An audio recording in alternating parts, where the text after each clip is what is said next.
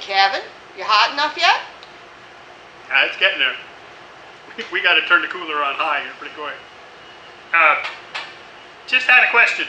Just came in. Now wait a minute. You guys have been talking about wire, all kinds of different size wire. You got 023, 024, you know, you got 030, you got, you know, uh, uh, 035, you know, and there's many, many different sizes, different diameters of wire. How do you know what wire, what size to use when? You know, why would I change?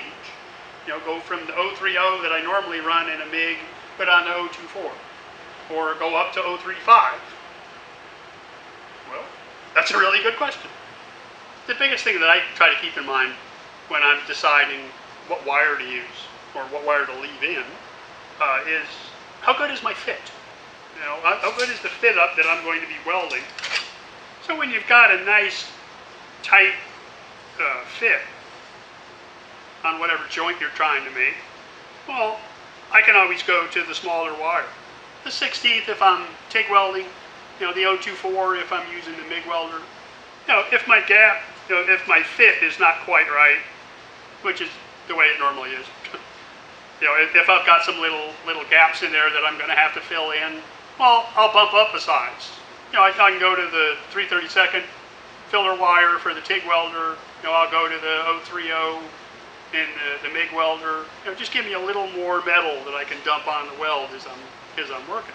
But now, if I've got you know a big old gap, if I've got a real big mess I'm trying to stick back together, and then I, I'll go up to the eighth inch on the, the TIG wire, or you know go up to the 035, you know, or 04, 040, I think it is the next size up, you know, for the MIG welder, the MIG welder, you know, just to give me some more metal I can dump on there to try and fill in some of the gaps. What, what if you don't, don't have all those different sizes? What do you do?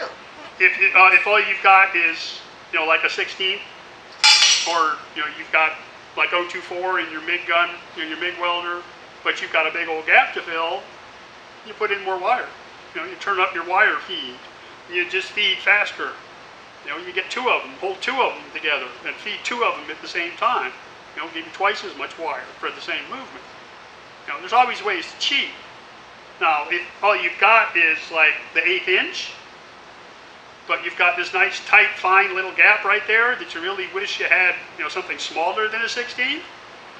But you know, one thing I have done in that instance where I had a real big filler wire and I had a real small hole, I didn't want to dump, you know, all of that metal on there. Your hammer and just pound it down. You know, roll it, twist it as you're going, tap, tap, tap, tap, tap, tap, tap, tap.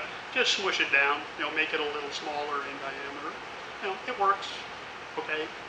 Uh, you know, it works better with like a coat hanger because the coat hanger is softer. You know, where, where these are a little bit harder. Of course, now something to keep in mind though when you're changing wire sizes, wire diameters, whether it's whether it's filler rod or whether it's you know, spool, spool wire in your in MIG welder. Don't forget to change your, your tip size, be your MIG gun, you know, for the different size wires that you're using. You might even change the uh, tungsten in your TIG welder.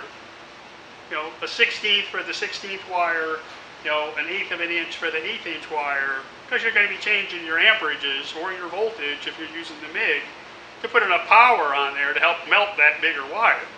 So don't forget to do you know your homework on that side, on the machine side. Make sure your machine is set up correctly to go with the different thicknesses of wire that you're going to be using. But just a few things to keep in mind. You know, changing these, changing your settings, changing your tips, changing your tungstens. I hope that helps. You know, I hope that kind of answers your question. And now, just do me a favor. Look right over there go ahead and click on that subscribe button for me. And if you get the chance, pop out to my website, come check out what I'm doing over there, come sign up for my newsletter. I would appreciate it. I'm going to go back to work. We'll see you next time.